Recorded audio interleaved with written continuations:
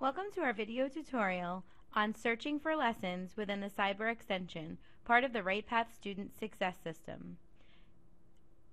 As a teacher becomes more familiar with the available lessons, he or she may well handpick lessons for their students. However, we have provided multiple means to allow teachers to search and view both course flow and individual lessons for their subjects. There are two different methods for teachers to use in order to find lessons for their students. Both of those methods can be found under the Lessons menu at the top navigation. A teacher can search through the lesson library and do a search for a general topic, or a teacher can search for a current curriculum to find lessons for students. So the first method we're going to talk about would be the curriculum search.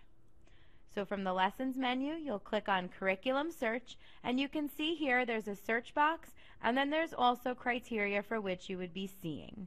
So you're defaulted to view the curricula assigned to My Classes.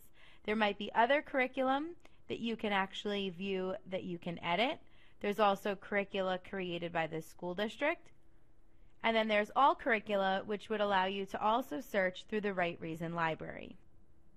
And as you can see here, it'll list different pages of the curriculum that you're able to see.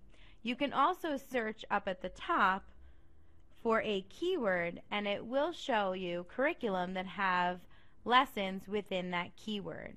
You can also search for the course itself and pull up the actual curriculum for that course.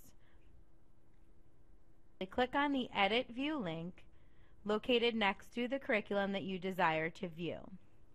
When you open that curriculum, it'll give you a course description, tell you what classes it's uh, connected to, and also who the owner of that curriculum is. The owner of this curriculum currently is your school district. And you can see here that a curriculum is broken up into units and lessons, and you can actually open a unit by clicking on it and see the lessons within that unit. So if you are looking for a lesson on rock classification, you can see that it would be here under rocks and minerals. And you can expand additional units as well to see those lessons. The next method for searching for lessons for students would be to access the lesson library. To do that, you'll go up to the Lessons menu and choose Lesson Library Search. This will take you to a global library of all lessons that are in your system and the Right Reason system as well.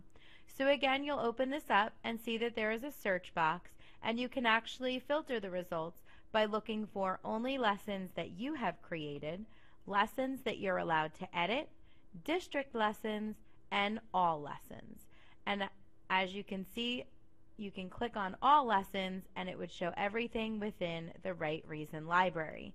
So I'm going to do a search for linear equations and click on the search button.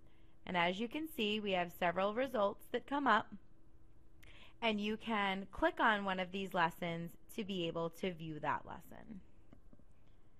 Thank you for viewing our video tutorial on searching lessons within the Cyber Extension part of the RightPath Student Success System. If you have any questions about how to search for lessons, or if you would like additional information, please contact Right Reason Technologies.